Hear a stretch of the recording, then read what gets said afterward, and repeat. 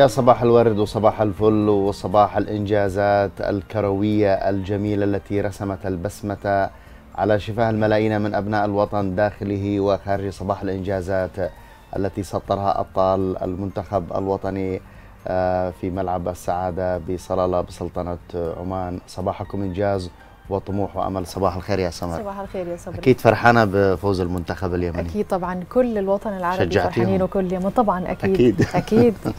صباح السعادة والخير عليكم مشاهدينا وصباح الأخبار الجميلة حتى لو كانت في الكورة لكن هي دائما الكورة يعني آه والرياضة هي دائما اللي بتسعدنا. أسعد الله صباحكم بكل الخير والسعادة في حلقة جديدة أكون فيها معكم أنا وصبري لمدة ساعة وربع من الآن ومجهزين لكم فيها مواضيع كثيرة ومتنوعة وأخبار كمان. وموضوعنا الرئيسي مشاهدينا اليوم هيكون عن التضامن الإنساني والتعاون وكيف نربي أبنائنا على قيم المحبة والسلام والمساعدة والتضامن آه، لأنه بيحتفل العالم باليوم العالمي للتضامن الإنساني اللي خصصته الأمم المتحدة لتفعيل معاني الإنسانية. للاعتراف بالقيمة العالمية للتضامن من خلال طبعا توعية الناس وتوعية الدول الأعضاء بالأهداف والمبادرات العالمية للحد من الفقر وصياغة استراتيجيات الحد من الفقر للدول المستقلة في جميع أنحاء العالم. وأيضا تحديات غير مسبوقة آه نشهدها في عالمنا اليوم. أحداث شديدة التعقيد تؤثر بشكل متزايد على حياتنا اليومية. جعلت الحاجة ملحة إلى ضروره العمل معا والتعاون مع جميع أصحاب المصلحة لبناء عالم أفضل ومستقبل أكثر اشراقا. هذا ما يحققه طبعا التضامن الإنساني العالمي. التغير المناخي والهجرة والأوبئة ونقص الغذاء الفقر جميعها تحديات وعقبات عالمية لا تعرف حدود ولكن بتحتم التعاون دوليا. وتنفيذ العديد من المبادرات والجهود اللي بتجمع الأفراد والشعوب والدول والمنظمات الدولية معا من أجل صنع غد أفضل. طبعا لا يمكن القيام بهذا بدون التضامن العالمي اللي يعد بمثابة العامل الضروري لبقاء البشرية.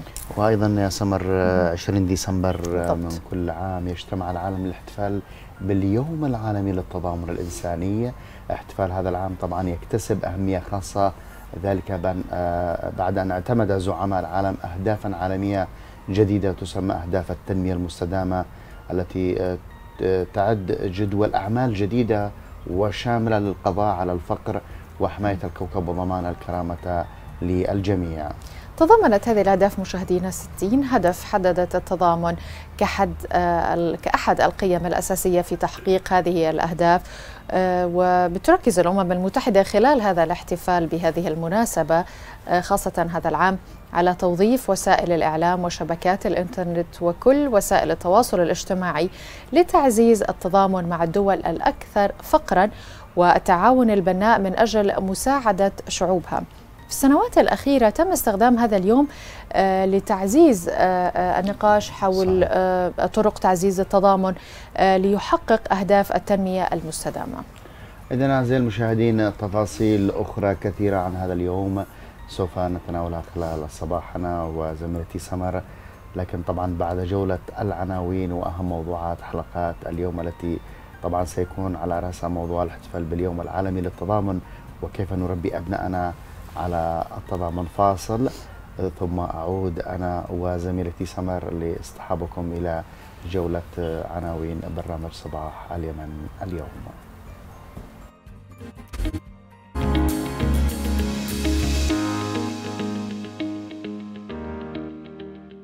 إذا البداية ستكون مع الموضوع الرئيسي الذي تحدثنا عنه هو عن أهمية التضامن آه، آه، العالمي وأيضا تعزيز ثقافة المشاركة والعمل الإنساني. بعد ذلك يا سمر نذهب إلى الملف الفني. وأخبارنا الفنية هتكون من ماريا قحطان اللي بتحصد مئات الآلاف من المشاهدات. في أغنية أنا دمي فلسطيني ورامي عياش بيتصدر الترند بأغنيته الجديدة ما بنساك. وصب و سمية؟ الخشب أنت قلتي صبري. أيوة صبري.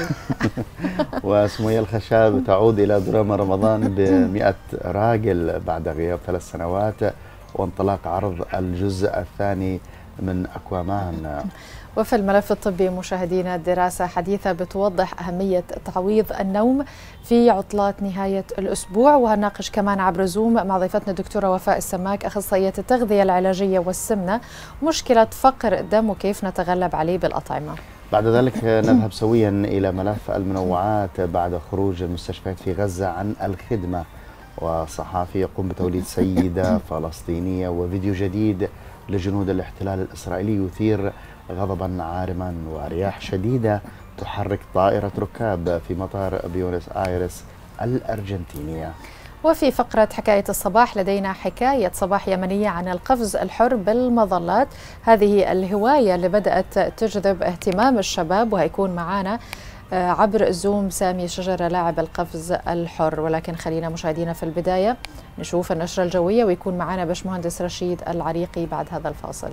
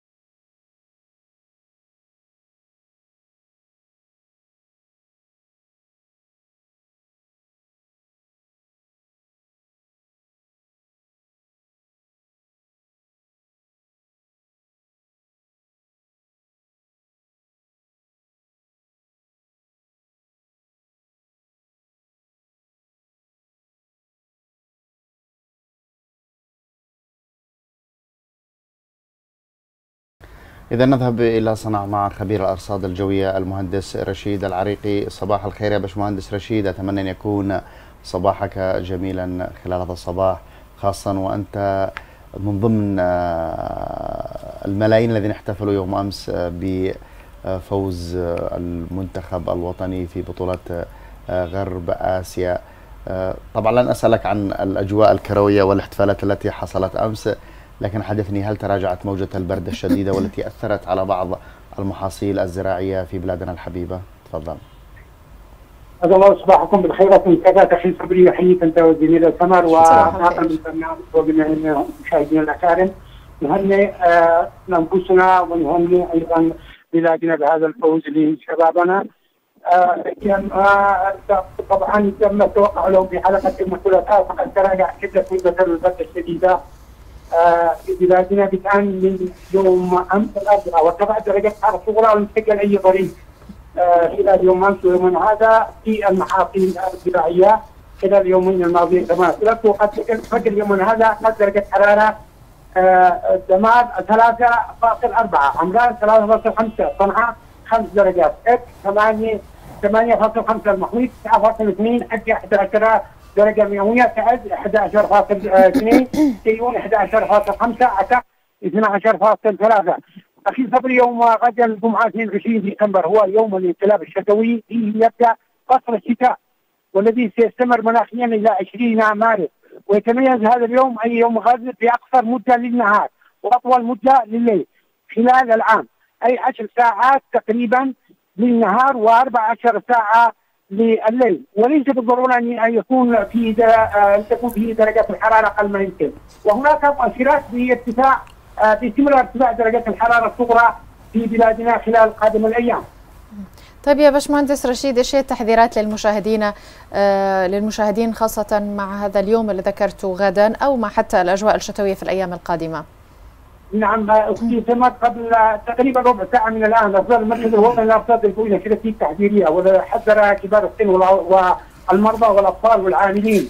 وكذلك المزارعين من أثار الطقس البارد.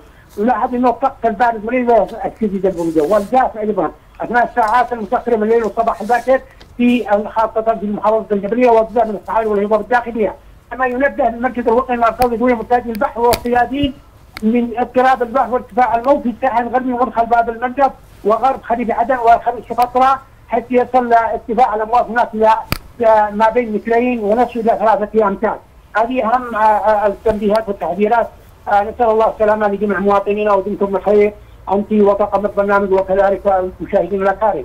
شكرا لك باشمهندس رشيد العريقي خبير الأرصاد الجوية.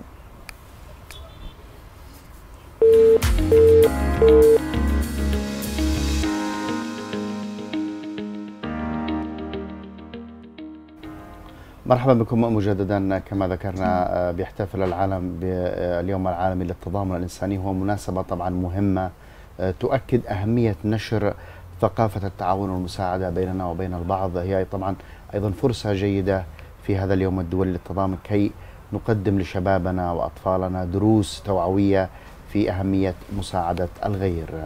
مهم جدا مشاهدينا أن نبدأ مع أولادنا منذ الصغر ونغرس فيهم هذه المعاني. المليئة والمحبة والقائمة على مبدأ التعاون والمشاركة لكي نجعل كل مجتمعاتنا آمنة وصحية. مهم جدا أن يكبر الطفل في مجتمع متشابك ومترابط. هي نقاط بسيطة وأشياء بسيطة ولكن مجرد أن تكون موجودة خاصة في الجيل الجديد هتساعد على أن يكون المجتمع أفضل وأحسن. وطبعا هذا اللي هنتعرف عليه مع ضيفنا في الاستوديو عاصم حجازي أستاذ علم النفس التربوي. صباح الخير يا دكتور. يا فندم على حضرتك وكل السادة المشاهدين. صباح, صباح الخير يا دكتور عاصم. ومنورنا خلال هذا الصباح الجميل. ونحن نتحدث أيضا عن موضوع رائع وهو طبعا عن أهمية التضامن والتسامح والمساندة والمساعدة خاصة ونحن نمر بظروف يعني صعبة جدا متغيرات كثيرة تطرأ على حياتنا اليومية. ما أهمية هذا اليوم؟ وهل يعني فقط يقتصر الدور على أنه نحتفل يوم في السنة؟ أم أنها فرصة أنه يكون يعني جميع الأيام فيها ثقافة وتسامح ومحبة وسلام بين الآخرين؟ بالتأكيد التضامن كعمل إنساني إحنا محتاجينه في كل فترات حياتنا ويمكن المجتمعات العربية تحديدا أكثر اهتماما بهذا الجانب. وجزء أصيل من الثقافة العربية هو ثقافة التعاون والمشاركة والتضامن. يمكن أبرز وأهم الصور اللي اللي بيظهر فيها التضامن في المجتمعات الإسلامية الأوقاف اللي كانت بتوقف على المدارس وعلى المستشفيات وغيرها فالعمل الاجتماعي التطوعي والتضامن والمشاركة والتعاون سمات أصيلة وأساسية بيتميز بها الشعوب العربية بشكل أكبر. يمكن في الدول الغربية لا نجد مثل هذا السلوك الاجتماعي اللي, اللي هو بيدعم الحقيقة مسيرة التنمية مفيش مسيرة تنميه هتستقر وهتتطور وتنمو إلا في ظل تعاون المجتمع ككل. طيب يا دكتور كيف ممكن نوصل لأبنائنا مفهوم التضامن وإنه المساعدة أو مساعدة أخواتنا مثلا أو أشقائنا في الدول خاصة اللي بتعاني من الحروب أو بتعاني من حتى من أحيانا المشاكل المناخية، كيف نوصل لهذا الجيل ولأبنائنا ضرورة المساعدة والتضامن؟ وإحنا دايما بنتكلم عن تغيير الاتجاهات لابد إن إحنا نتكلم عن التوعية والتثقيف لأن طبعا الإنسان بطبيعته عدو ما يجهل. أبنائنا لازم يعرفوا أهمية هذا النوع من التضامن اللي بتنعكس عليهم هم كأفراد وبتنعكس على المجتمع اللي هم عايشين فيه.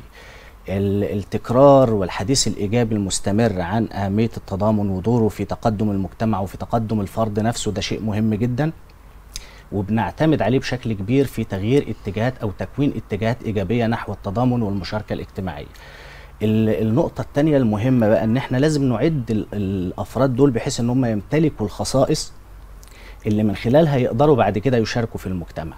الشخص اللي مطلوب منه إن هو يكون متضامن مع اشقائه الشخص اللي مطلوب منه إن هو يساعد الجميع لابد إن هو بيمتلك مجموعة من السمات والصفات والخصائص إحنا كأسرة ويمكن كمدرسة كمان ال ال ال النقطة دي تحديدا محتاجة تعاون بين الأسرة وبين المؤسسات التربوية المختلفة الموجودة في المجتمع زي المدرسة وزي الإعلام وزي النوادي وخلافه محتاجين إن الطالب ده أو الطفل ده اللي إحنا عايزين ننمي عنده حب المشاركة وحب التضامن الاجتماعي إنه يكون بيتميز بمجموعة من الصفات على رأسها القدرة على تحمل المسؤولية.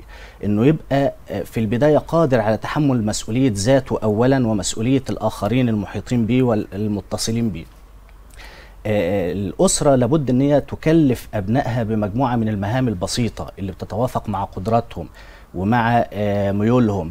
ثم تتدرج إلى مستويات أعلى لحد ما تنمي عند أبنائها القدرة على تحمل المسؤولية والثقة بالنفس لأن دي سمات أساسية مطلوبة في الشخص اللي مطلوب منه أن هو يشارك المجتمع في آه، أهدافه.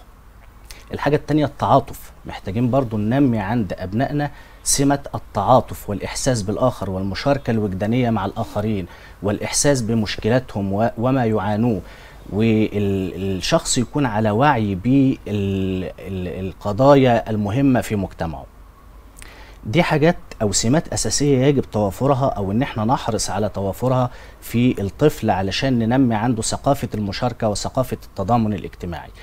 الحاجة الثالثة والمهمة إن إحنا لازم ندرب أبنائنا على إن هم يكونوا دايما متعاونين. يعني التفرد وإن كل حاجة أعملها لوحدي الألعاب الفردية أو إن أنا آه لما أجي أعمل حاجة أو أعمل نشاط أكون مستقل. بعض الأسر للأسف يعني بتعتقد إن ده صواب وإن ده الأصح إن أنا أخليه يعمل الحاجة لوحده علشان أعوده على الاستقلالية. أو الاعتماد لكن لا. المشاركة المشاركة فيها توزيع للأدوار وفيها كل فرد من أفراد الأسرة لو هو ومجموعة من إخواته مثلا أو هو وأصدقائه كل واحد في في عملية المشاركة دي بيبقى له دور محدد.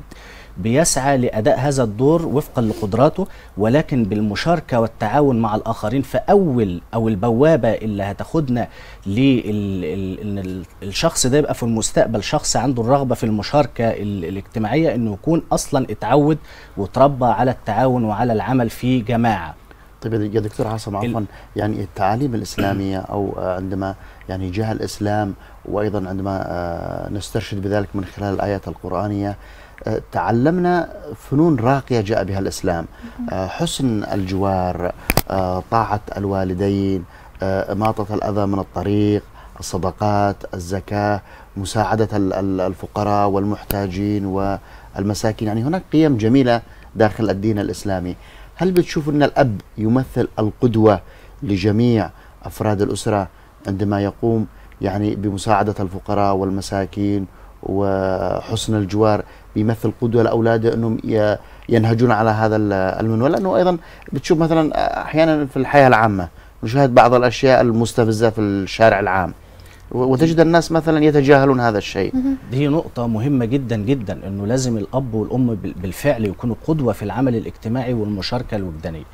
ال- النقطة اللي حضرتك أشرت إليها دي مهمة جدا آه، ولكن إحنا عايزين يعني الأب والأم لا يقتصروا فقط على مجرد إن هم يوعوا أبنائهم بهذه الأمور والتوعية أمر مطلوب ومهم ولكن يمارسوها يمارسوا هذه الأعمال أمام أبنائهم علشان تنتقل آه، من خلال النمذجة للأجيال التالية. من الحاجات برضو المهمة إن إحنا لما ال- الأبناء حد فيهم تقابله مشكلة إن إحنا نشجع الآخرين على إن هم يساعدوه في حل هذه المشكلة. وده نوع من المشاركة الوجدانية. فلما ال ال الأبناء أو ال الابن ومجموعة من زملائه بي- بيتشاركوا في حل مشكلة إحنا دورنا كأسرة بيكون دور الموجه والميسر لعملية المشاركة دي. فلو في حد فيهم عنده القدرة إن هو يقدم المزيد من الحلول نقول له انت كان تقدر تعمل كذا كمان أو تقدر تقدم آه، مساعدة كمان أكتر من كده والمرة الجاية حاول ان انت آه، تساعد بشكل افضل وبشكل اكبر. فاحنا بنوجه عملية المشاركة دي ونديرها ولكن نتيح الفرصة للأبناء ان هم آه، كل واحد فيهم يبدع في كيفية تقديم الدعم والمساعدة للآخر. ان إحنا نشجع أبنائنا بقى على ان هم يتبرعوا بأفضل ما لديهم ان ناخد ابننا كده ويروح يشتري اللعبة اللي هو بيحبها ثم يأخذ هذه اللعبة و- ويذهب إلى مثلا آه، إحدى دور ال ال الأيتام مثلا. ويتقدم بها. لزملائه أو ل- ل- ل- للأطفال الأطفال. الموجودين هناك يعني فدي حاجة كويسة جدا إن إحنا بنخليه كمان آه، يقدم أفضل آه، حاجة هو بيحبها فبنعلمه العطاء لأن المشاركة المجتمعية والتضامن تقوم على بشكل أساسي على العطاء فدي برضو نقطة من ال- النقاط المهمة إن ال- الطفل لازم يشارك في هذه العملية ولا يكتفي فقط بمشاهدة الأب والأم وإن كان ده آه، له عظيم الأثر بنسبة 90% مهم. صحيح. القدوة بنسبة 90% بتؤثر في هذا السلوك لكن يتبقى 10% محتاجين أن الطفل يمارس هذه الأعمال بنفسه الأنشطة التطوعية والأنشطة الخدمية للمجتمع لا تقف عند حدود التبرع للأيتام أو للفقراء وفقط. وإنما إحنا برضو عايزين نوسع دايرة المشاركة الاجتماعية في أذهان أبنائنا بحيث إن هي تشمل كل الأنشطة الاجتماعية المفيدة للمجتمع واللي بالتأكيد هذا الطفل سيستفيد منها بصفته عضو من أعضاء هذا المجتمع. فعندنا مثلا الأنشطة الكشفية حاجة مهمة جدا بتعود الطالب على إن هو آه، إزاي يتح- يتحمل المسؤولية اولا وإزاي إن هو يشتغل مع فريق وإزاي إن هم يضعوا أهداف مشتركة ويسعوا جميعا لتحقيق هذه الأهداف وفقا لخطة صنعوها بإحكام آه، بالتعاون مع بعضهم البعض. فالأنشطة ال- الكشفية الأعمال التطوعية اللي بتقوم بها بعض الجمعيات ال- والمؤسسات الخيرية. حتى لو الشباب مثلا يعني آه، في أحد منهم آه، لديه لغة ممكن يعلم اللغة هذه لأشخاص غير قادرين كمان آه، يتعلموها أو يأخذوا فيها مثلا كورسات.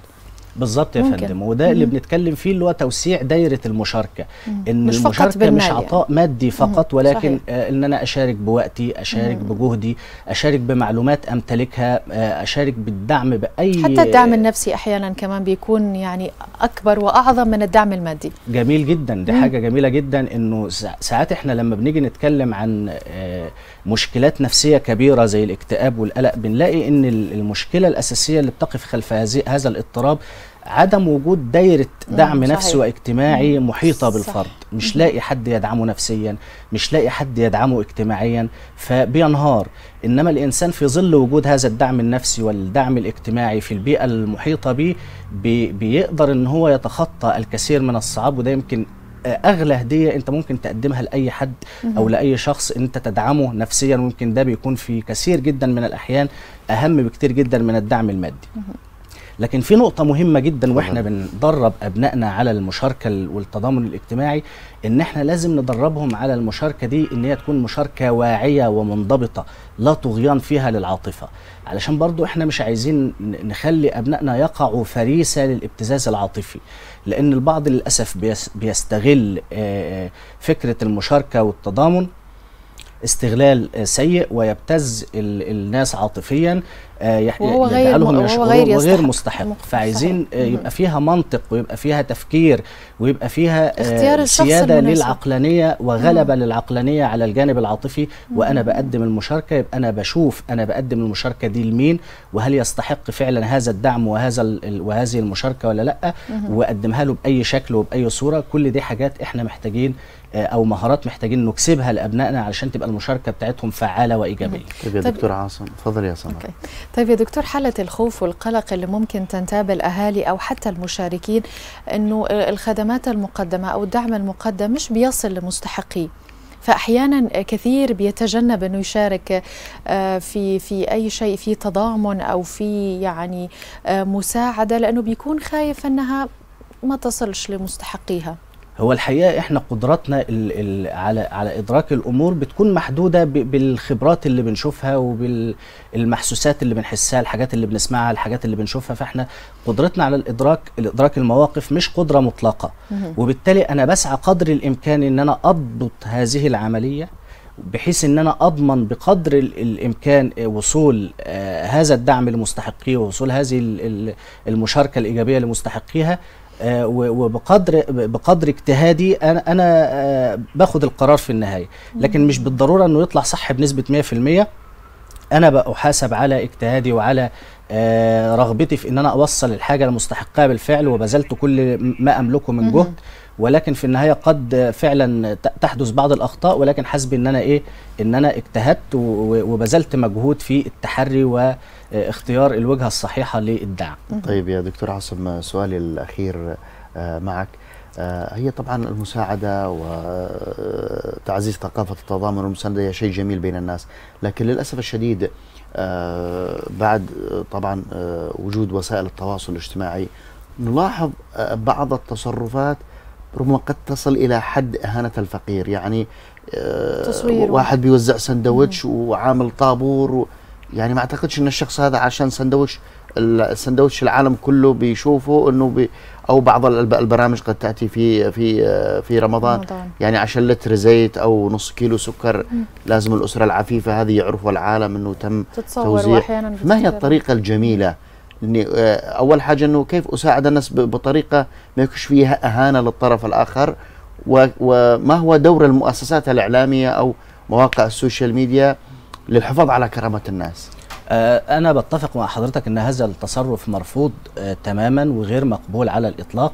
آه، وإحنا وإحنا بندرب أبنائنا على المشاركة لابد إن يكون فيها الجانب الروحي والجانب المعنوي مرتفع جدا والجانب الديني. يعني وأنا بعمل كده أنا بعمل كده إيه ال ال الأهداف اللي أنا برجوها من من وراء هذا العمل؟ لازم أدخل فيها الأهداف الدينية والأهداف الأخروية علشان ال ال أنمي عند ال الأبناء الإخلاص في العمل وإن أنا بعمل العمل ده مش لمجرد الكسب المادي من وراه أو لمجرد الشهرة إلى آخره. آه، دي دي نقطة مهمة وللأسف إحنا محتاجين برضو ندرب أبنائنا وإحنا بنتكلم على المشاركة الواعية واللي هي بتقوم على العقل والمنطق لا طغيان فيها للعاطفة. آه، للأسف الناس لما بتعمل share أو بتعمل like للفيديوهات دي بتبقى غلبة للعاطفة عندهم. يعني موضوع العاطفة غالب عندهم على تقييمهم للموقف فبيقيموه على أنه موقف إنساني نبيل. لكن هم لو فكروا فيه ب- بصورة عقلية ومنطقية وبشكل أكثر آه، واقعية هيلاقوا إن ده تصرف ليس الهدف منه آه، مساعدة الفقير على الإطلاق وإنما الهدف منه إن, إن يبقى فيه الشهرة. share كتير ويبقى. فيه آه، شهرة ويبقى فيه آه، مقابل مادي إلى آخره. فهنا لو إحنا دربنا أبنائنا من البداية على إن المشاركة بتاعتهم تكون مشاركة واعية وإنه يفكر قبل ما يقدم المشاركة ب- بشكل منطقي وبشكل نقدي في من يستحق هذه المشاركة وطريقة تقديم هذه المشاركة هنلاقي إن في هيتحول هذا القبول ال- الكبير لمثل هذه الأنماط السلوكية إلى رفض من ال- ال- الشباب اللي تم آه، توعيتهم وتم تثقيفهم بهذا الشكل. طب وأحيانا يا دكتور هذه الفيديوهات أو المشاركات بتكون يعني لحث الآخرين إنهم كمان يشاركوا يعني مش دائما بيكون لها الجانب آه، يعني جانب الشهرة فقط. هو الفكرة مش مش إن أنا لازم أصور الفقير وأنا بديله. يعني هناك الكثير جدا من الطرق والأساليب اللي ممكن أقدم بيها التشجيع. والتحفيز ولكن ليس فيها على الإطلاق لأن دايما إحنا حتى لما بنتكلم في البرمجة اللغوية العصبية مثلا بنقول إن أي مشكلة أو أي سلوك سلبي في جانب إيجابي. قد يكون هذا الجانب الإيجابي آه إنه عايز يبقى نموذج للناس في إن هي تنفق إلى آخره. لكن دايما إحنا لازم نعمل توازنات ونشوف صحيح. هل السلبيات أكتر ولا الإيجابيات أكتر. فهنا في الموقف اللي زي ده السلبيات أكتر لأن أنا آه، بشهر بالفقير أنا بشهر نفسي وشهر بالفقير. فهنا السلبيات بتكون كتيرة جدا ومشاهد أحيانا ال- الذلة اللي بتبدو على وجوه بعض الناس الآخذين بتبقى يعني مخجلة حزب- جدا. حزب النفس فعلا. مخجلة جدا وتأثيراتها النفسية السلبية على المشاهدين بتكون خطيرة جدا. فلما بنيجي نعمل توازنات بين الإيجابيات وبين السلبيات بنلاقي إن السلبيات في مثل هذه المواقف بتكون أكثر. أكتر, أكتر وبتطغى وبالتالي آه، بنقيم هذا الموقف أو هذا السلوك على إنه سلوك غير مقبول. دكتور عاصم حجازي أستاذ علم النفس التربوي بجامعة القاهرة. شاكرين جدا حضورك معنا خلال هذا الصباح وسرنا جدا بالحديث معك خاصة في ظل الأجواء الباردة خلال هذا اليوم. شكرا جزيلا لك يا دكتور. شكرا جزيلا لحضرتك. وشكرا شكرا لك يا دكتور. وتستمر طبعا احتفالات بلادنا بفوز آه، منتخبنا الوطني للناشئين الذي تصدر أمس طبعا المركز الأول آه، في بطولة غرب آسيا. بعد طبعا مباراة مثيرة كان كل شيء جميل يوم أمس يا سمر يعني الجمهور الجمهور. والمنتخب وظهر لنا طبعا نجم. نجم جديد. استطاع أن. يكسب قلوب اليمنيين المعلق المصري مصطفى رمضان كان أيضا نجم التعليق يوم أمس وتفوق على كثير من المعلقين الذين قاموا بنقل المباريات كابتن مصطفى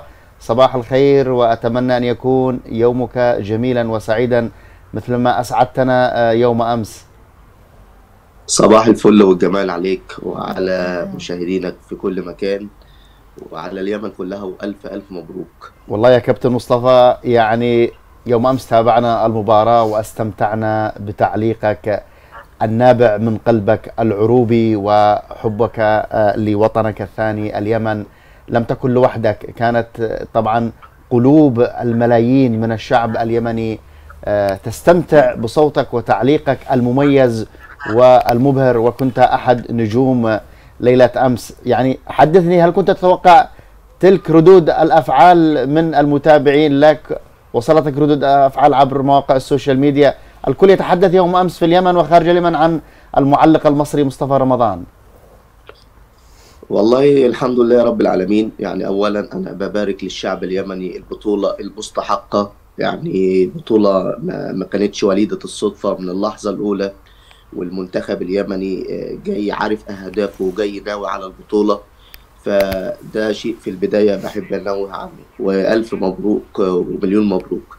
آه، الحقيقة ردود الأفعال اللي وصلتني الجميلة جدا بعد. التعليق اللي كان عفوي جدا وبتلقائية. مهم. نتيجة شد المباراة ونتيجة إن المعلق دايما بيتكلم بجوارحه ومشاعره ومشاعرك دايما بتتحكم فيك. فأنا بشكر كل اللي سواء على يعني التواصل الاجتماعي أو الاتصال الشخصي. أنا ما كنتش متخيل كل هذه الردود والله ردود الأفعال الجميلة. ولكن يعني ما وجدنا منكم إلا الخير وأنتم تستحقوا الحقيقة الفوز وتستحقوا البطولة وخصوصا السيناريو اللي حصل في المباراة. سيناريو كان صعب. منتخب اليمني كان مسيطر على كل المباراة بالطول وبالعرض. ولكن. ضيعنا بعض الفرص يا مصطفى صح؟ يعني ضاعت شوية. صحيح. صحيح. فرص كثيرة. أنا بقول ال- السيناريو كان صعب لأن. المنتخب اليمني كان هو الأفضل. آه، أضاع ضربة جزاء في المباراة. عبد الرحمن الخضر ب- بمشاركة كمان احمد الموشكي و- وأكتر من لاعب ضيعوا فرص محققة أيوه عند للتسجيل تسع أهداف أعتقد صح؟ آه آه، أهداف كثيرة بالفعل. مهم. الأخت السمر يعني ضاعت من المنتخب اليمني وأتى هدف التعادل المنتخب السعودي بمثابة صدمة ومثابة صدمة حتى للجمهور الموجود. لأن السيناريو ما كانش ينبئ عن كده. زيادة على ذلك ركلات الجزاء الترجيحية أو ركلات الترجيح زي ما بنسميها يعني بداية سيئة كمان من المنتخب اليمني في التسديد عبد الرحمن الخضر برضو ضيع ضربة جزاء في ركلات الترجيح يعني بشكل كبير الكل قال إن البطولة مش عاو... مش مش عاوزة المنتخب اليمني. لكن. سبحان الله يظهر في الصورة البطل اليمني وضاح أنور الله. لتصدى لركلتي جزاء صحيح. وحول السيناريو ومن هنا تحولت المباراة حتى أنا ما قدرتش أتحكم في مشاعري آه، في آه، نهاية المباراة وكان الفوز الحقيقة فوز صعب جدا وولدت ولد الأمل مرة تانية من رحم المعاناة زي ما بيقولوا. لكن أبطالنا كانوا قادرين يعني على إنهم يعني يجيبوا لنا هذا هذا الفوز وهذا النصر. طيب يا كابتن مصطفى يعني رياضيا كذا كيف تقييمك لل- لل- للمباراة وال وال- والأداء آه، أبطالنا؟ تقييما أنا آه، علقت على البطولة من أول مباراة للمنتخب اليمني. المنتخب اليمني يعني ما شاء الله يعني ربنا يحرسهم آه، أداء ونتائج بل النتائج لا تعبر كمان عن الأداء. يعني ال ال الأداء اللي قدمه المنتخب اليمني من حتة الاستحواذ لحته السيطرة الفرص هي أبرز النقط السلبية فقط الموجودة في أداء المنتخب اليمني إضاعة الفرص. مباراة العراق المباراة الأولى كان ممكن تخلص أكتر من كده. مباراة زي مباراة الإمارات مباراة زي مباراة لبنان مباراة السعودية النهائية كان ممكن المنتخب اليمني يخرج خم يعني لا أبالغ بخمس تجوال على الأقل. ولكن أداء سامر فضل عامل توليفه جيده جدا إذا استغل هذا المنتخب صغير السن في المستقبل هيكون مؤثر جدا على الناحية يعني القارية ولما لا على الناحية العالمية بإذن الله. يا كابتن مصطفى أمس أنا بصراحة عندما كنت أسمع تعليقك وأشاهد المباراة كنت أقول الكابتن مصطفى شوية وينزل يلعب مع اللاعبين في الملعب يعني كنت أحس إنك بروحك بأحاسيسك بحبك. لليمن يعني عاوز تلعب معاهم والله والله الشعب اليمني هو شعب يعني قريب جدا للقلب للأمانة أنتوا ناس تتحب بسرعة وناس. طيبين في اصلكم وبطبعكم فانا لم أجد منكم إلا الخير وبالتالي أنا كنت يمني يوم المباراة. والله يعني آه، آخر المباراة كده لما المنتخب اليمني انتزع البطولة نسيت خالص إن الواحد إن المنتخبين العربيين آه، كنت يمني خالص 100% لأن المشاعر كلها وكل الجوارح كانت تجاه فوز المنتخب اليمني فقط لا غير. وإحنا كنا في حاجة يعني هذا الفوز يا كابتن. إحنا كنا في نعم. حاجة هذا الفوز هذا الفوز حقيقة. كل اليمن في كل مكان في العالم كان في حاجة هذا ال- ال- الفوز. يعني فرحة دائما الكورة والرياضة دائما فرحة مختلفة بينتظرها الجميع الكبار والصغار. يعني ما فاهم ما شجعتيش المنتخب السعودي؟ أنا؟ ابدا. طيب يا كابتن. دايما بتجمع بتجمع صح. الكل. صحيح يا كابتن. مفيش حد ابدا يختلف عليها. أكيد. أكيد وبالتالي بتجمع الشباب الشيوخ ايا كانت اختلافاتنا ممكن الكرة تجمعنا تحت راية واحدة شوف. وهو ده اللي حصل وهو ده اللي قدر المنتخب اليمني من خلاله يفرح اليمنيين وشفنا ردة الفعل. اللي حصلت في الشوارع وفي الميادين و- وأنا حتى الآن بتابع قناة السعيدة وتابعت يعني الحقيقة بعض القنوات اليمنية وقد إيه الفرحة وقد إيه الشعب ده كان ينتظر هذه الفرحة وفيعني اللي عملوه أشبال اليمن شيء كبير جدا وشيء الحقيقة أثر كتير جدا في معنويات الشعب ده اللي يستحق الفرحة بعد المعاناة الكبيرة أكيد.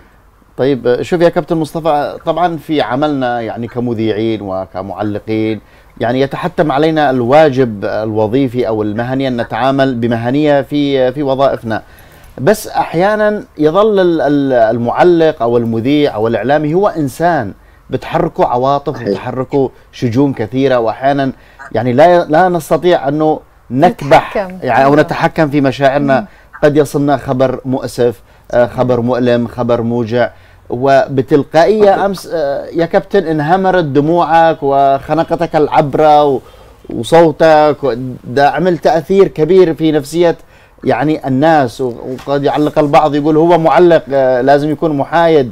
لكن شفنا إنه آه، يعني داخلك مشاعر فياضة و- وكأن ال- هو المنتخب المصري الذي يلعب وليس المنتخب اليمني والله يعني أنت قلت كلمة لخصت كل هذا الكلام هو المعلق في, الأول وفي الآخر كلنا بشر من لحم ودم يعني لازم مش هتقدر تتحكم في, في, في الطبيعة. مش هتقدر تتحكم في الحاجة الإلهية اللي ربنا حاططها فينا إحنا كبشر كل واحد ليه انتماء آه، أو كل أو كلنا آه، أو كل واحد المفروض يلتزم فعلا بالمعايير ال- المهنية وما إلى ذلك لكن في الأخير أنت إنسان وبشر. والموضوع أتى إزاي ناحية من ناحية إن أنا شايف أداء المنتخب اليمني فرص المنتخب اليمني هو الأكثر استحواذا هو. الأكثر تسديدا الشعب اليمني الحقيقة بقى وردود الأفعال وقد إيه هم منتظرين للفرحة ديت نتيجة بقى الظروف الصعبة وآلام الحروب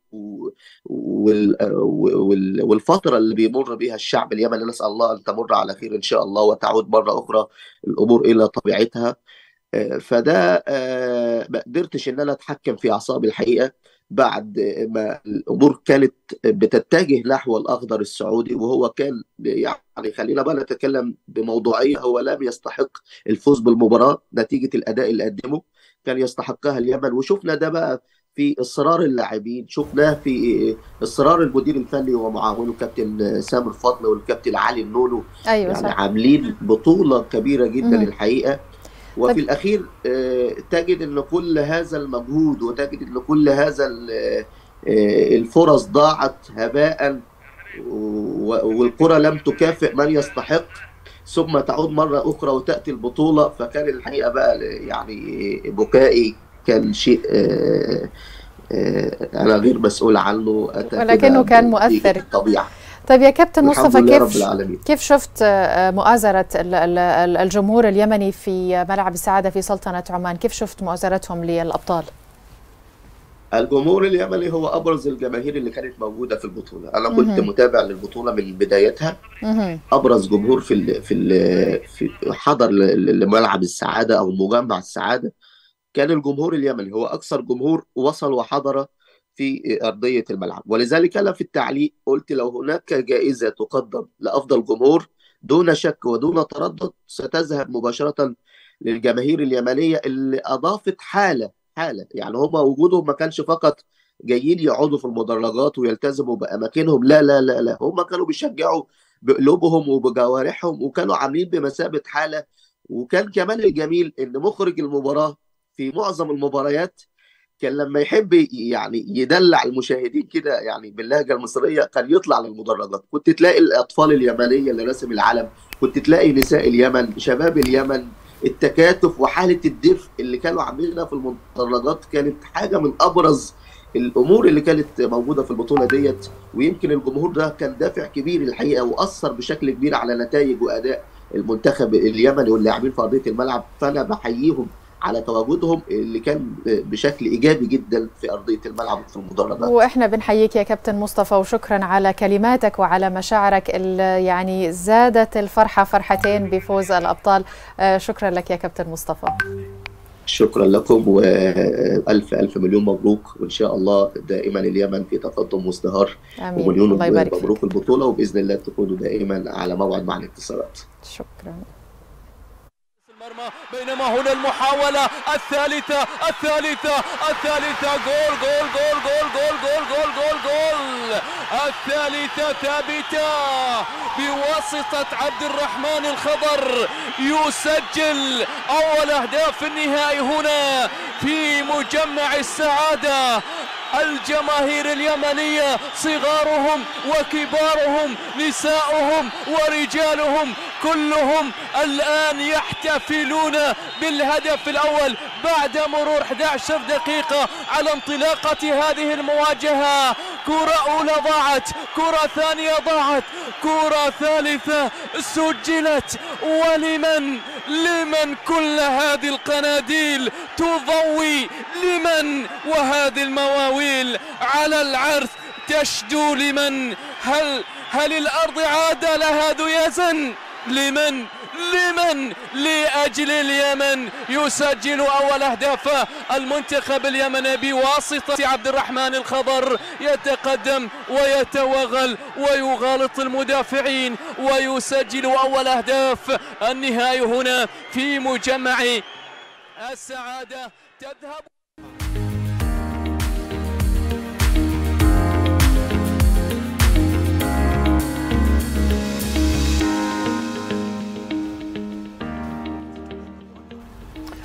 غالبيتنا إذا لم يكن جميعنا نعمل طوال الأسبوع اللي ننتظره يوم الإجازة في نهايته حتى ننعم بنوم هانئ. قد يجول آه، وقته قليلا من المعتاد. أطباء وعلماء أخصائيون أيدوا فكرة النوم الإضافي في عطلة نهاية الأسبوع لما له من فوائد صحية حيث أكدت دراسة طبية حديثة أن النوم الإضافي في الويك أند يمكن أن يخفض من خطر الإصابة بأمراض القلب والأوعية الدموية. تشير الدراسة مشاهدينا إلى أن باحثين من جامعة طبية صينية تابعوا حالة 3400 شخص لتحديد كيفية تأثير دورات النوم في الصحة. ووفقا لنتائج هذه الدراسة فإن الأشخاص الذين لم يحصلوا على بانتظام على قسط كافي من النوم خلال أيام العمل في الأسبوع ثم ناموا بضع ساعات إضافية في أيام عطلة نهاية الأسبوع انخفض لديهم خطر الإصابة بالنوبات القلبية بنسبة 63% وعلى النقيض تماما فإن عدد تعويض ساعات النوم التي تقل طوال الأسبوع بسبب الأعمال والوظائف ومشاغل الحياة يمكن أن يؤدي إلى مخاطر صحية حيث أثبتت الدراسة أن الأشخاص الذين لم يعوضوا قلة النوم في أيام العطل ازداد لديهم خطر الإصابة بأمراض القلب والأوعية الدموية. ودائما ما ينصح الأطباء والأخصائيون للوقاية من هذه الأمراض بالنوم لمدة تتراوح بين سبع وثمان ساعات يوميا وكانت دراسات سابقة أظهرت أن الساعة أو الساعتين الإضافية من النوم في عطلات نهاية الأسبوع يمكن أن تمنع السمنة والاكتئاب وتعطي دفعة حيوية للشخص لبدأ أسبوع القادم بحيوية ونشاط.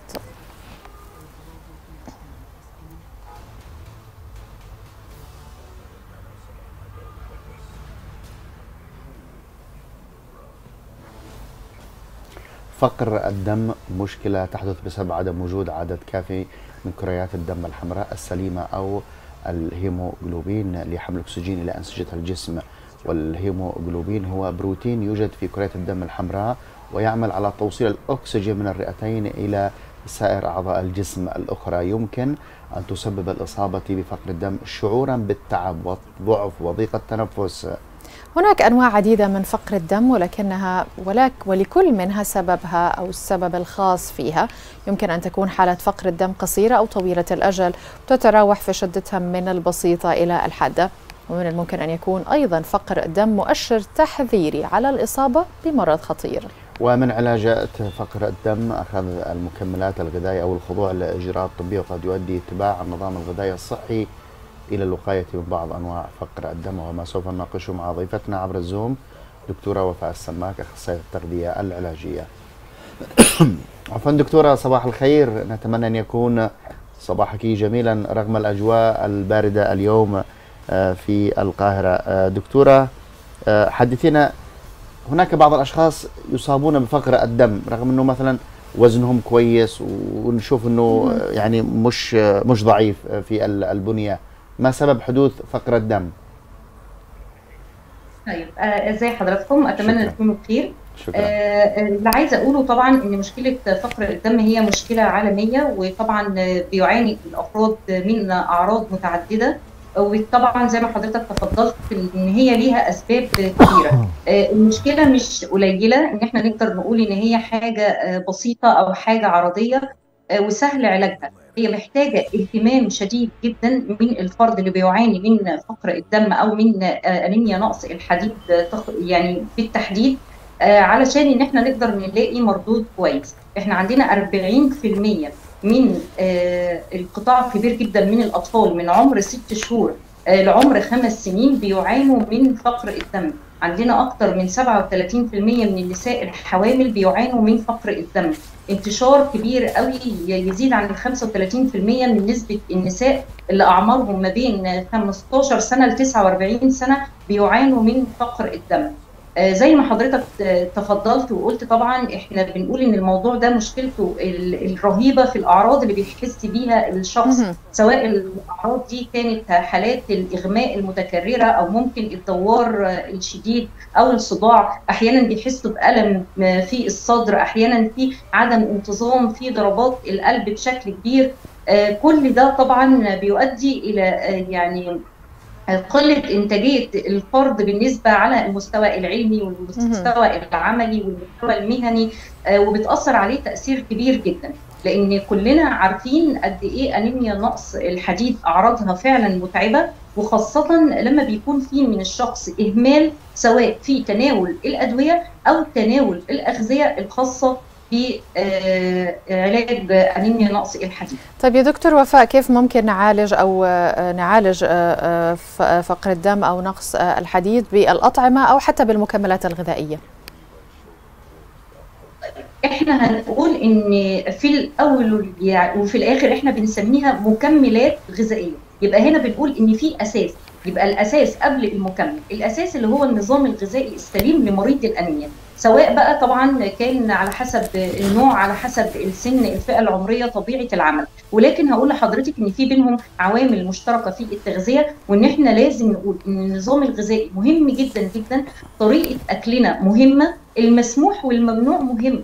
وده دور آه، أخصائيين التغذية العلاجية على مستوى العالم إن إحنا نبتدي نرشد الناس عن طريق التثقيف الغذائي إزاي ياكلوا أكل يخلصنا من المشكلة دي. فبنقول رقم واحد هو إن إحنا بنركز على مصادر الحديد.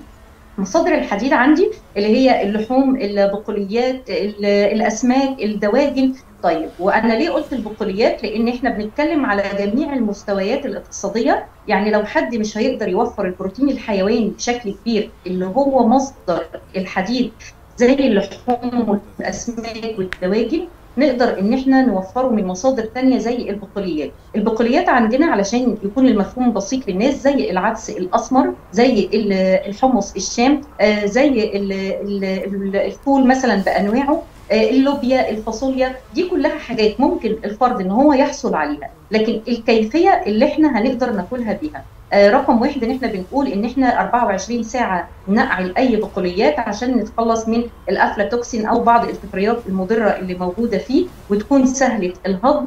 ورقم اتنين نقول إن إحنا لما بناخد أي مصدر للحديد سواء كان من مصدر نباتي أو من مصدر حيواني لازم إن إحنا نضيف للأكل بتاعنا فيتامين سي. فيتامين سي مصادره ومن أقوى المصادر اللي إحنا لازم نقول لمريض الأنيميا إنه يتبعها أو يتم الحصول عليها بشكل يومي هي الفلفل الرومي أو الفلفل الأخضر اللي هو حجمه كبير. طبعا مش بنقول للناس إن إحنا عايزين حاجات حارة أو حاجات آه، كده لا إحنا بنقول الفلفل الرومي الفلفل الألوان طبعا آه، بكل ألوانه. دي مهمة جدا ومصدر هايل لفيتامين سي. آه، نقول برضو إن الليمون من المصادر الهائله لفيتامين سي ولكن نقول هناخده إزاي؟ ان دايما طيب. وإحنا بناكل يا يا دكتورة وفاء إذا الشخص أهمل آه، يعني زيارة الطبيب آه، وهو مصاب بفقر آه، الدم متى ممكن نقدر نقول أنه دخل مرحلة هل يمكن أن يدخل إلى مرحلة الخطورة أو الخطر؟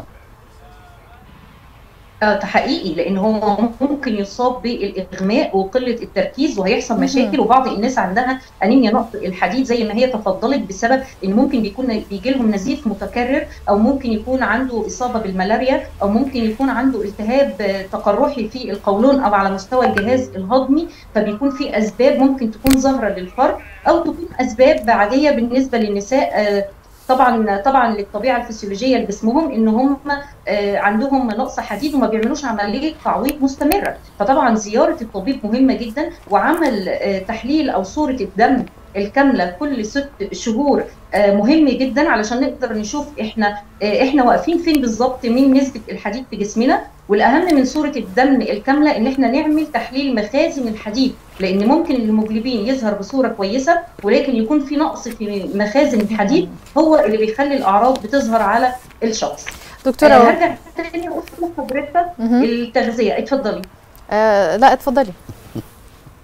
طبعا أنا بس بتكلم في نقطة مهمة جدا إن إحنا خدنا مصادر البروتين بشكل كامل آه، إحنا دايما معتادين إن إحنا الليمون ممكن إن إحنا يتم عصر الليمون على الأسماك فقط ولكن إحنا عايزين نقول أي حد بيعاني من نقص الحديد لازم إن هو يعصر الليمون كمان على آه، مصادر آه، ال- ال- اللحوم البيضاء زي الدجاج مثلا أو.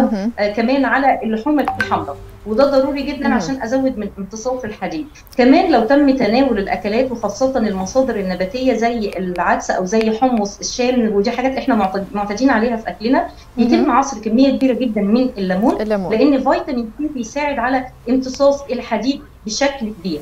مع الالتزام بإن أنا باخد مصادر فيتامين سي كلها زي الفلفل الأخضر والفلفل أيوه. الألوان. آه، دكتورة وفاء السماك اختصاصي تغذية علاجيه شكرا لك وشكرا على هذه النصائح.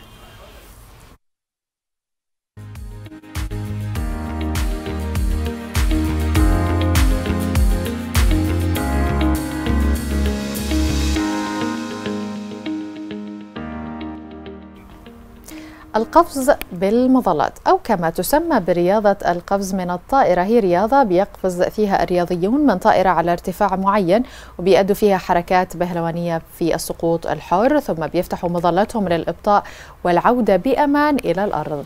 يعتبر أعزائي المشاهدين القفز بالمظلات من الرياضات الصعبة التي تتطلب الكثير من الشجاعة لكنها آه، تمنح أيضا دفعة آه، دفعة من الإدرينالين فهي تصنف من أسرع الرياضات في العالم.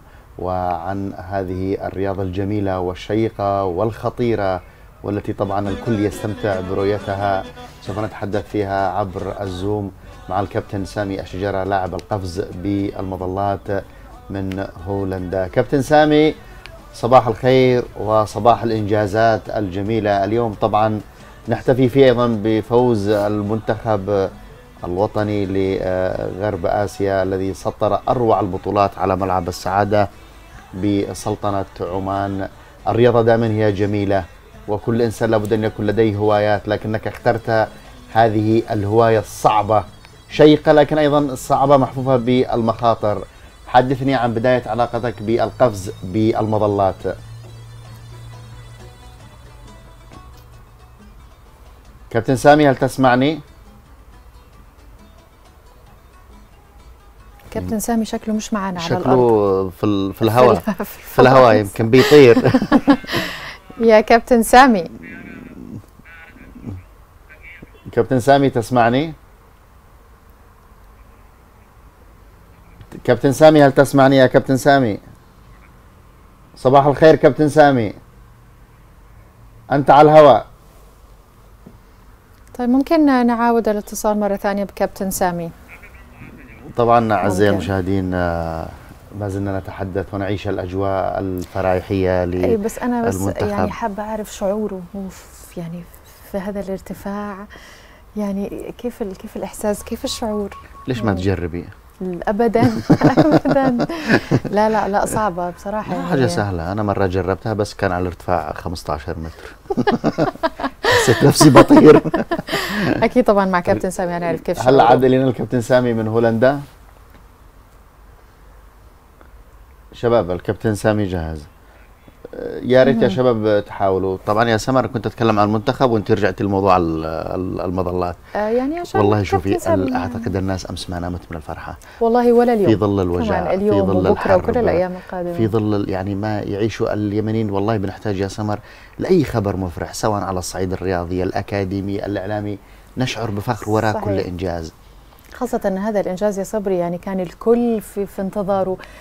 مشاعر الترقب والخوف والقلق وكل الناس وال- على أعصابها كمان يا يعني سمر الإمكانيات الصعبة اللي طبعا عاناها المنتخب الإمكانيات اللي مش مش يعني آه، صعبة. وسائل مش التنقل بين. المحافظات تجميعهم يعني المعسكرات تخيل الرياضية. يعملوا معسكر في أبيان وتقريبا المنتخب السعودي في اليونان وفي إيطاليا وفي يعني في فارق في, في الإمكانيات أكيد استطاعوا ان. يلعبوا آه، بقلب رجل واحد وأيضا يا سمر آه، كما قلت لي أنت الجمهور اليمني آه، أكيد كان أكيد. فاكهة ال- حب الجمهور البطولة. وحماس الجمهور والصبر وإنه دائما يعني فكرة إنه تشجع فريقك أو منتخبك حتى يعني في كل الأحوال أعتقد إنه يعني إذا نعود مرة أخرى إلى نوتردام في هولندا كابتن سامي صباح الخير أتمنى أن يكون صوتي قد وصل إليك عبر الأثير. كنا نتحدث عن الإنجازات التي يحققها أبناء الوطن في ظل الظروف الاستثنائية التي نمر بها وشاهدنا مقاطع فيديو آه، تم عرضها وأنت تحلق عالم في الفضاء واختيارك لهذه الهواية الشيقة والصعبة والمحفوفة بالمخاطر. كابتن سامي حدثني عن علاقتك بالقفز بالمظلات لماذا اخترت هذه الهواية الصعبة؟ اولا صباح الخير عليكم صباح جميعا. صباح الورد. تسمعني؟ أيوه نعم نسمعك يا كابتن أنت على الهواء. نعم حياكم الله جميعا. تحياتي لكم وللمشاهدين وللطاقم العامل في قناة اليمن اليوم. شكرا. وأشكركم للمرة الثانية على هذه اللفتة الجميلة لأن هذه ثاني مرة يعني يتم مقابلتي في قناة قناة قناة اليمن اليوم. نتشرف. لا لي الشرف أيضا. وبالنسبة للهواية هذه سبحان الله كانت تراودني زي ما ذكرت في المقابلة الأولى من آه، 96 900 وألف. والحمد لله يعني تحققت ولو انها بعد مدة طويلة ولكن آه، يعني كنت آه، مغرم بهذه الرياضة من زمان ويعني كنت سعيد جدا أني حققت هذا الإنجاز. اللهم الحمد ولله الشكر. طيب ليش اخترت هذا هذا الرياضة يا كابتن سامي؟ يعني آه، خوف وقلق يعني رياضة خطيرة يعني. والله كل واحد يعني سبحان الله توجه. كان توجهي أنا يعني كنت كنت لاعب كمال اجسام سابق. وكانت في في ذهني يعني هذه الرياضة ما يعني ما ما ذهبت من ذهني نهائيا كل ما مثلا يعني شاهدت في التلفزيون أو في مقاطع اليوتيوب يعني القفز المظلي يعني يهزني الشوق إلى أن أقوم بهذه المغامرة والحمد لله قمت بالمغامرة ونجحت ولله الحمد. طيب يا كابتن سامي لا شك إنه يعني في زمان أتذكر كان في الكابتن آه، محمد المقالح طيب محمد المقالح. كان كان نعم، يحلق نعم، نعم. عاليا في سما صنعاء وكنا نستمتع. وطبعا التقينا به في صنعاء عدة مرات وتعرض الكثير من الإصابات وكنا طبعا نستمتع عندما نذهب إلى وادي ظهر. لكن عندما نشوف ذلك الارتفاع يعني نتراجع. لو حد فكر أنه يقفز بالمظلات يشوف رغم أنه الارتفاع كان بسيط مثلا من وادي ظهر. آه، آه، هل يجب أن يتحلى الإنسان بالشجاعة كي يكون قافز مظلي حر؟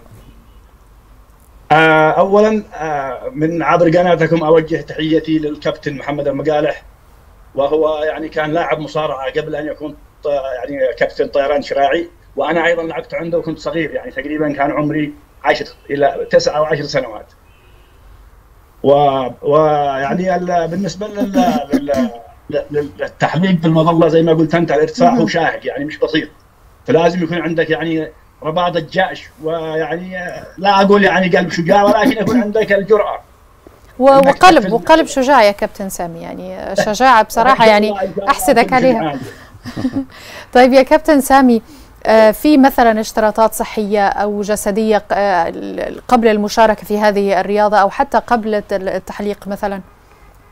نعم أكيد. هناك بتكون يعني بيكون عليك كشف طبي أول شيء مرضى القلب لا يعني لا يستطيعون يعني القفز.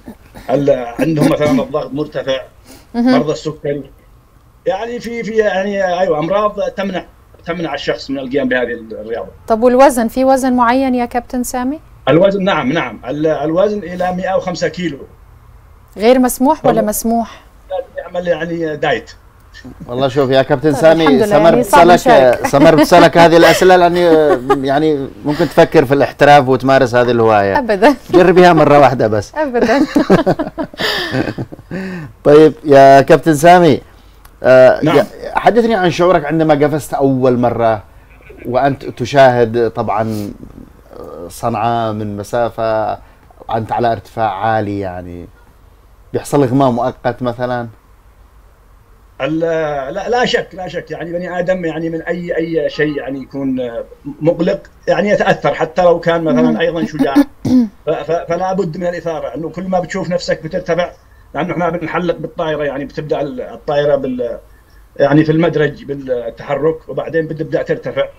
بشكل حلزوني وأنت بتشوف الأرض يعني تختفي شيئا ما عنك والملامح البيوت وال والملامح على الأرض. فبدأ يبدأ القلق. يعني كيف كيف اخرج من الطائرة كيف انفذ ال- ال- الخطوات التي يعني إنه لازم تقوم بها التي تدربت عليها على الأرض. يكون التفكير هنا يعني أكثر من ما إنه واحد يكون خائف. بس أنا يعني هذه الأشياء التي كانت تشغل بالي. كيف أكون الخروج من الطيارة كيف أتحكم أيوه. بوضعي في الهواء لأنه لازم يكون وضعك ما قبل بالذات قبل فتح المظلة لازم يكون يعني وضعك ك يعني انك. تسبح في الهواء. لو كان وضعك يعني بشكل غير غير آه، صحيح قد ربما المظلة تلتف عليك وتفتك بطريقة غير صحيحة. وهذا خطر على اللاعب. أكيد طبعا. طيب يا كابتن سامي أكيد مرت عليك مواقف كانت آه، غريبة مواقف صعبة يعني. أكيد في بالك المظلة ما منهم. تفتتح مثلا يعني. والله مثلا ثلاث ثلاث مرات يعني عندما فتحت المظلة التفت المظلة حول نفسها. يسموه بال بال في هذه الرياضة يسموها تويتس. طيب وبعدين فلا- فلازم تكون أول شيء تسيطر على نفسك ما يكون عندك خوف وبعد ذلك ت- ت- تبدأ بالخطوات التي ت- تحل المظله يعني عن نعم يعني مرتبطة في بعضها والحمد لله يعني افتكت الأمور بسهولة. اللهم. طيب آه، كابتن سامي هل تختلف السباحة في الهواء عن السباحة في الماء؟ أكيد أكيد لأنه في ال- في السماء عندما تنزل أنت بدا يعني بتسقط بسرعة خارقة يعني يوصل سرعتك إلى 220 كيلو متر في الساعة. يعني آه، يعني شيء يعني شيء سريع جدا مخيف فلازم تكون مسيطر على نفسك يعني تكون يعني صاحي ذهنيا تماما. طيب يا كابتن سامي أنك. أيوه. طبعا إحنا عارفين إنه ما شاء الله يعني عندك أولاد ممكن تخليهم يجربوا يخوضوا هذه التجربة عندي الولد الكبير جرب معي ولكن جرب مهم. مع مدرب يعني يسموه تندم يعني كان مربوط مع واحد من المدربين وقفزت معه وإن شاء الله هو يعني بيفكر العام المقبل يبدأ بالرياضة هذه إن شاء إن الله شاء الله بإذن طيب الله آه، إقامتك في هولندا هل منحتك الكثير من إنه يعني يتعلم واحد مهارات جديدة أو توفر الإمكانيات في هولندا تجعلك تواصل ممارسة هذه ال- الهواية باستمرار؟ نعم إن شاء الله النيه موجودة بإني أواصل هذه الرياضة لأنه ال- ال- الرياضة هذه يعني مجالها واسع. يعني ال- في, في هو فيكم يعني بيكون فيها بطولات كأس عالم أيضا بس لازم يكون عندك فريق ما تستطيع إنك تشارك لحالك. فأنا ما يعني أنا أعتبر تق- تقريبا اللاعب اليمني الوحيد الموجود هنا. فلازم أكون لي فريق ونتدرب مع بعض ولكن هذا شيء يعني ما أعرف كيف حيكون. أشوفه شبه مستحيل. إنه يكون عندي فريق هنا. نتمنى لك مثلا ولو قاعد. مثلا أنا لما كنت أتدرب كان مثلا منتخب قطر موجود معنا هنا كان يتدربوا يوميا وفعلا يعني جالي يعني تأسفت على بلادنا إنه ما عندنا هذه الإمكانيات صحيح وما عندنا مثلا. عندنا الكوادر صح. موجودة ولكن بلادنا في هذا الوضع يعني اولا نسأل الله إنه يخارج بلادنا من هذه المحنة رب. نحن فيها ومن ثم إن شاء الله يتحسن كل شيء. كابتن سامي الشجرة اللاعب القفز الحر المحترف شاكرين جدا حضورك معنا خلال هذه المداخلة الصباحية ونتمنى لك قفز جميل وعالي وممتع. في العالي. شكراً لك يا كابتن. كنت معنا من هولندا. شكرا جزيلا لك. مشاهدينا وصلنا لختام حلقتنا آه، اللي كانت يعني رياضية بامتياز وفيها أجواء رياضية. نتمنى لكم نهاية أسبوع جميلة. يا رب أشوفكم أنا وصبري الأسبوع القادم والمزيد من الأخبار والضيوف كمان المميزين. دمتم في رعاية الله. وسوف تستمر طبعا أفراحنا مستمرة بعد فوز آه، منتخبنا الكبير لنا. أيضا آه، أيضا آه، سعادة السفير أحمد علي عبد الله صالح قام بتهنئة المنتخب آه، بعد فوزه ببطولة غرب آسيا. وهذا طبعا لا يخفى على سعادة السفير تشجيعه ودعمه آه، وأيضا آه، يعني رعايته لكل الموهوبين سواء بتقديم التهاني أو الدعم. شاكرين جدا حضوركم ومتابعتكم خلال هذا البرنامج الصباحي الشيق والممتع. طبعا بحضوركم أنتم سوف تستمر أفراحنا بإذن الله تعالى. ممنونين جدا حضوركم معنا خلال هذا الصباح. لا تنسوا ابتسموا دائما في وجه الحياة.